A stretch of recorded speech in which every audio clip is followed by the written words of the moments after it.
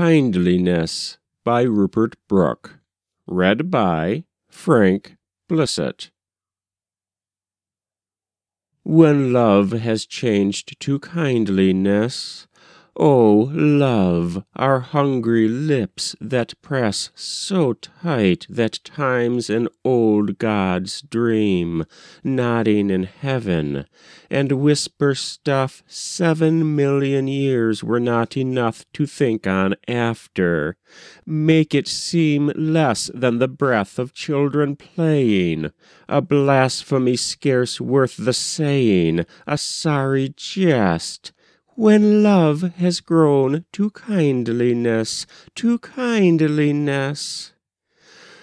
And yet, the best that either's known will change and wither and be less at last than comfort or its own remembrance.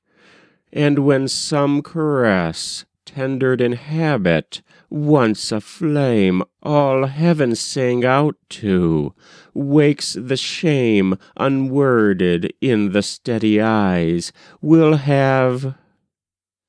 That day, what shall we do? Being so noble, kill the two who've reached their second best? Being wise, break cleanly off and get away follow down other windier skies, new lures alone?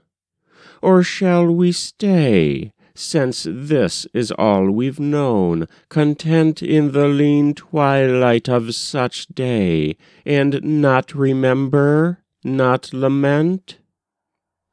That time when all is over, and Hand never flinches, brushing hand, and blood lies quiet for all you're near.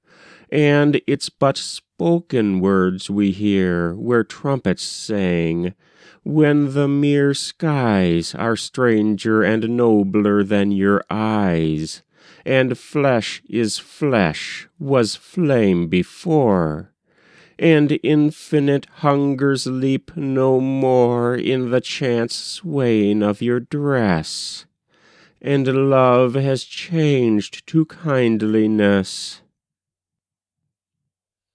That was Kindliness by Rupert Brooke, read by Frank Blissett.